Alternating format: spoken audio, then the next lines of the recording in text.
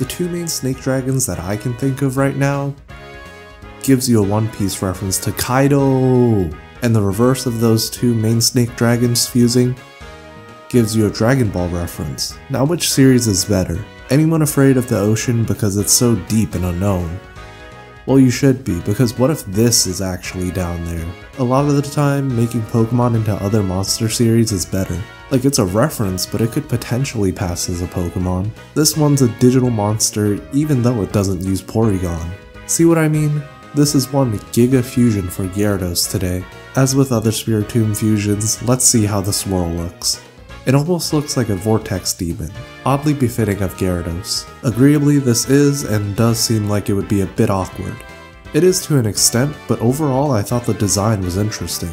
This one is a bit obvious or plain, whatever the word for it is. But doing something like coloring it this well can really go a long way.